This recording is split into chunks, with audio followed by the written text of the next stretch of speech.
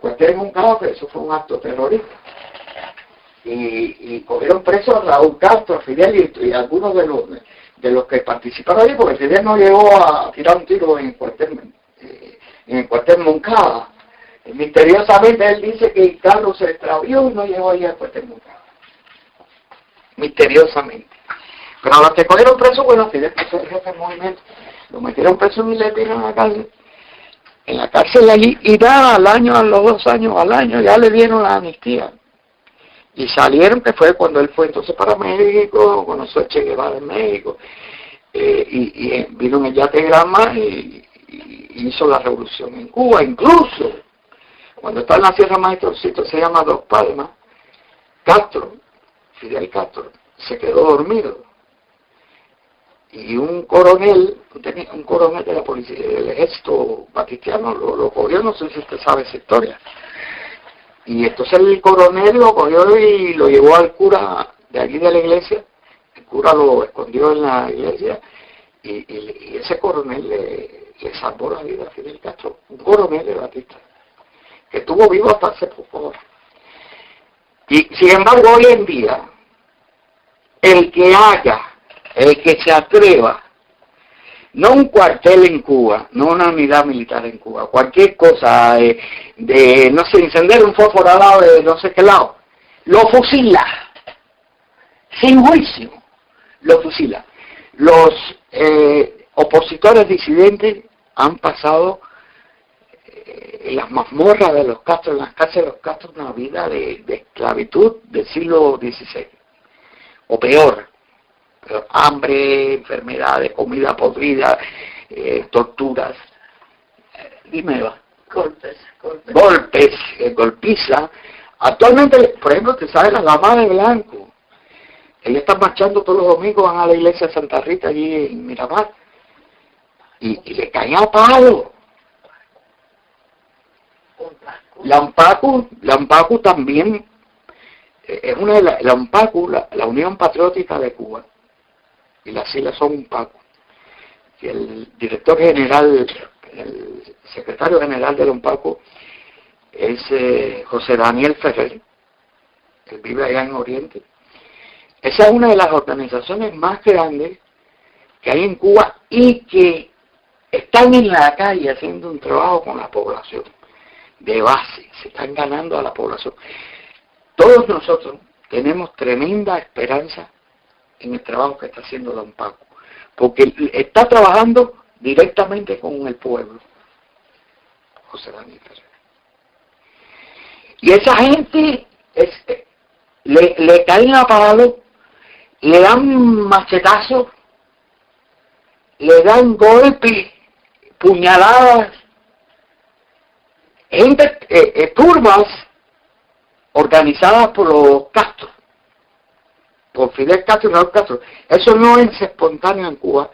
Ningún acto de estos eh, de repudio que hacen en Cuba es eh, sale por por, por, por, por idea propia de, del pueblo cubano, porque allí nadie, ningún cubano puede hacer nada, nada. Eso todo tiene que estar autorizado por el gobierno, pero eso está organizado por la dictadura castrista.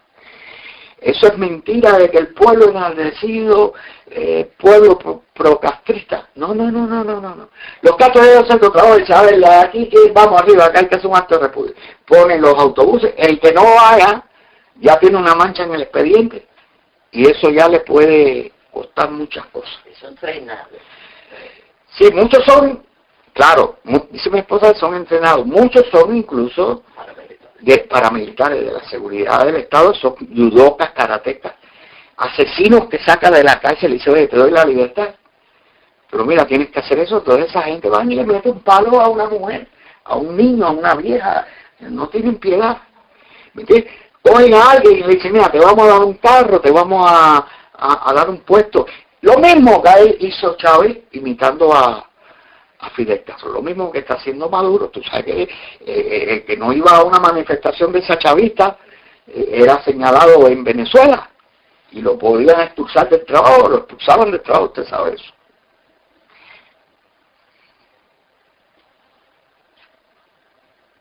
Sí. Mire, yo quisiera que mi esposa hablara un poquito sobre eso, pero yo, yo le voy a decir, la Unión Europea, históricamente, prácticamente lo que ha tenido es un juego, como lo han tenido todos los países. La Unión Europea, a mi, a mi entender, le importa un comino la libertad del pueblo cubano, la represión. Usted puede ver ahora como presidentes de la Unión Europea, Holanda, de Francia, el otro, el otro, el otro, el otro, el otro, han ido a retratarse con Fidel Castro, o el máximo responsable de la miseria y la represión que hay en Cuba. Una cosa que a mí eso me tiene sin cuidado, ¿eh? porque eso a mí me recuerda eh, meses antes, un año antes de, de que asesinaran a Gaddafi, el, el, eh, el mismo pueblo. A Gaddafi lo iban a visitar los presidentes europeos de Italia, este, ¿cómo se llama? De Inglaterra. De Inglaterra, el presidente de Inglaterra, el otro, el rey de España, él iba, eh, Gaddafi ponía sus campanas con su camello ahí en medio de Madrid, y iba donde y era bienvenido y los presidentes iban a verlo allí, Zapatero, era socialista, pero fue a ver a Gaddafi, y a los seis meses, Gaddafi como terminó, vaya, ultrajado y asesinado. O sea, esto que está haciendo la, la Unión Europea es algo hipócrita, es hipócrita porque el día que los Castro caigan en desgracia la misma, los mismos europeos estos son los que van a acabar con la dictadura. Pero generalmente con el pueblo no han hecho nada. Yo quiero que mi esposa le, le hable algo sobre eso. Espera un momento, mi esposa no traje. Ah. Aló, Osvaldo se llama. Sí. Hola. Hola, yo soy Eva. Oye, mi marido da muchos detalles ahí, tiene mucho para escribir. Sí, puede. Oiga, eh, usted, eh, estaban hablando de la Unión Europea y eso. Sí, el, Bueno, mi, yo pienso que con, con Aznar en el inicio ellos eh, eh, tenían este, ¿cómo se llamaba? El- la posesión común, que era que con exigencias de, de, de, mejoramiento en derechos humanos y democracia. Pero parece que ahora, con el acercamiento de, de, de Obama a, a- a Cuba, la Unión Europea no quiere estar atrás. Entonces, parece que van a, a quitar esta posición común, a mí me parece. Y, y, y lo que en, en, en relaciones con Cuba parece que hay como un corre-corre para hacer negocios y que todo el mundo está piensa que hay muchos negocios en Cuba, pero eh, eh, ellos van a ser muy decepcionados porque no hay nada comercial ahí. No hay fuerza de compra y, y, y- y no hay para invertir. No. Y ese gobierno eh, tiene reglas eh, para, para inversionistas que son muy duras, eh, que, que solamente nunca pueden ser, te- tener mayoría, no pueden ser dueños de tierra, no pueden ser dueños de, de, de, de, predios o de, de, casas. Y, y, em, y cada negociante que, se- que hace una inversión o se establece en Cuba corre el riesgo de perder todo el negocio en, algún tiempo. Los españoles consideran quedar por, por el turismo, porque el tu- turismo ahí eh, ha sido un poco lucrativo para el gobierno y así, ¿no? Pero siempre minoría, ellos no son dueños, son los militares que son dueños. Y eh, la familia Castro y sus militares. Eh, y, y, en la relación Obama y Cuba es lo mismo, es negocios y, y han ha habido un enormemente de, masas de negociantes y políticos que, van a Cuba para intentar eh, verificar cómo se hacen negocios, pero no han logrado nada, absolutamente nada. Una promesa de una pequeña eh, montaje de, un, de, hacer tractores o algo así. Es casi lo único hasta ahora. Bueno, sí, eh, sí, pero el turismo tiene límites y, parece que está casi al máximo ahora. Y eh, está piorando, el servicio no, no, está piorando y, y los turistas están quejándose porque el servicio comienza a ser un poco malo. Eh, por, la abundancia del turismo. Yo pienso que, que hay un límite. No, no, pueden eh, recibir mucho más, porque está lleno, lleno. Los hoteles están llenos y, y, el servicio no alcanza.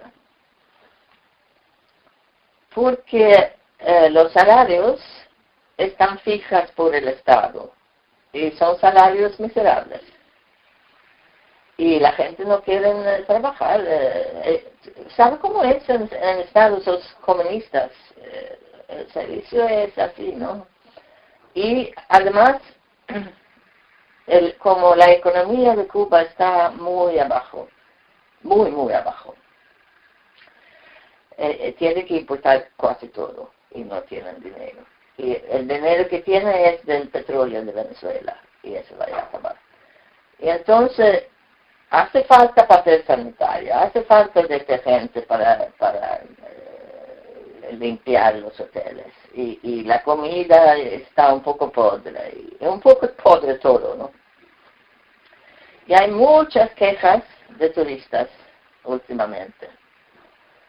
Pero yo no digo que es así por todo el lado y todavía puede haber servicios que funcionan, pero, pero por mucho lado. Y y yo pienso que la motivación de la gente para trabajar bien no existe cuando hay salarios miserables. Y, y los extranjeros que invierten o manejan un hotel o algo así, ellos no pueden eh, influenciar eso. Eh, eh, ellos, ellos no pueden, si ellos dan extra bonos o algo así a los trabajadores, ellos pueden perder su contrato con el, con el Estado y ser expulsados o huir preso.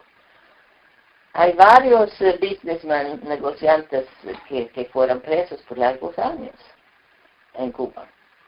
Ingleses, canadienses, eh, un sueco pienso también.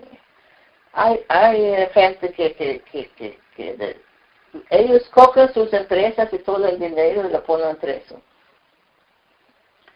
Por capricho y, y, uno no puede confiar en, en, un gobierno que, que, es todopoderoso y que decide de todo. Nadie puede confiar. Y los negociantes lo menos.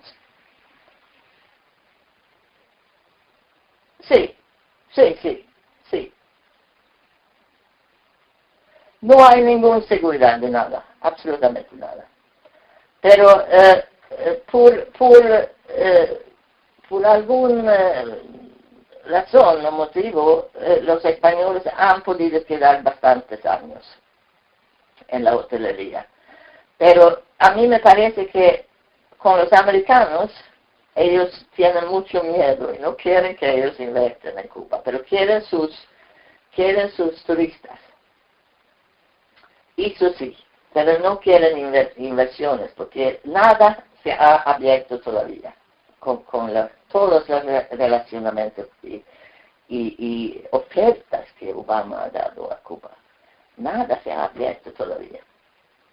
Absolutamente nada. Pero, ¿cómo? Yo pienso que eh, si, si Obama hubiera sido más exigente, porque él tiene la carta en la mano, porque eh, eh, Raúl Castro precisa de apoyo de los Estados Unidos. Ellos precisan de los negocios, de investimientos y apoyo, ayuda. Ellos precisan de ayuda para sobrevivir ese gobierno. Y Obama hubiera sido más exigente eh, para dar una